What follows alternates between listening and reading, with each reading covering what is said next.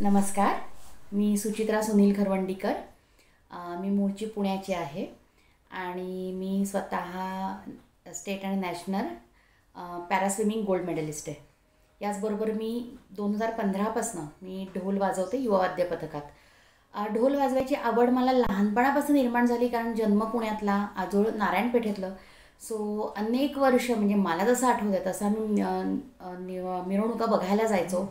आणि मग त्यातनं तो ठेका तो नाद त्यांचा उत्साह वादकांचा हे सगळं इतकं माझ्या मनात आत्म्यात भिनलं होतं की मला हे करून बघायचं आहे हे खूप लहानपणापासून माझ्या डोक्यात होतं की मला ढोल वाजवायचा आहे आणि थोड्या वर्षांनी म्हणजे अनेकच खूपच मध्ये काळ गेला आणि मग मी सर्च करायला सुरुवात केली. की कुठल्या ढोल पथकात मला वाजवता येईल. आणि अनेक ठिकाणी माझ्या डिसेबिलिटीमुळे मला नाही सांगितलं की आम्ही तुमची जबाबदारी वगैरे घेऊ शकत नाही. परंतु युवा वाद्य पथकाने मला लगेच अलाउड केलं. त्यांच्या इथे मला एंट्री दिली.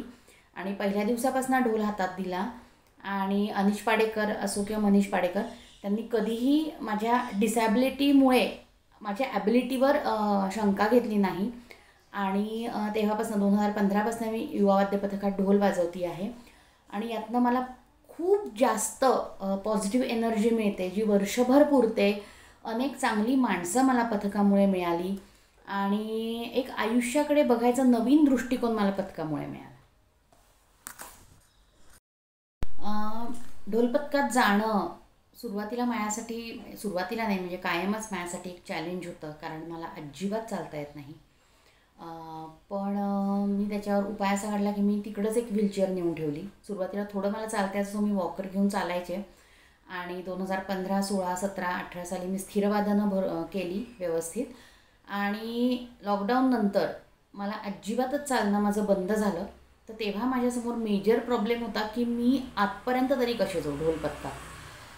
तर त्याच्यावर मीच सोल्युशन काढलं की मी तिथे एक व्हीलचेअर घेऊन तिथे नेऊन ठेवली. आणि मी गाडीवरनं व्हीलचेअरवर बसून मग मी प्रॅक्टिसला जायचे. आणि व्हीलचेअर आल्यामुळे आता मी मिरवणुकांमध्ये सुद्धा मी व्हीलचेअरला ढोल बांधून मी मिरवणुका पण आता वाजवते. आणि मी अगदी मनापासून सांगते की मला यातनं इतका आनंद आणि उत्साह मिळतो की त्याचं शब्दात किंवा वर्णनच करता येणार नाही. आता तर अनेक जण आम्हाला विचारतात की काय मिळतं तिथे जाऊन? किंवा पैसे मिळतात का? किंवा कशाला तुमचा एवढा वेळ वाया घालवता? पण ही जी तिथनं जो आनंद जी पॉझिटिव्हिटी आणि एक ऊर्जा मिळते ना ती पैशाने कधीच विकत घेता येणार नाही. सो मला तिथे जाऊन प्रचंड खूप चांगले माणसं मिळाली. मी माणसांनी समृद्ध झाले श्रीमंत झाले. आणि माझं खूप जुनं एक स्वप्न होतं की मला मिरवणुकीत ढोल वाजवायचा आहे ते माझं पूर्ण झालं. सो मला पथकात जाऊन खूप खूप खूप कमाल भारी वाटतं. आणि अजून एक त्यांच्याबद्दल गोष्ट सांगायची ती अशी की काहीही प्रॉब्लेम येऊ दे.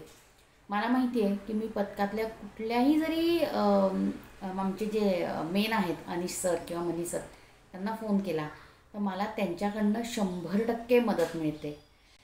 सो मी खूप खुश आहे आणि मला अभिमान आहे की मी युवावाद्य पथकाची ढोलवादक आहे.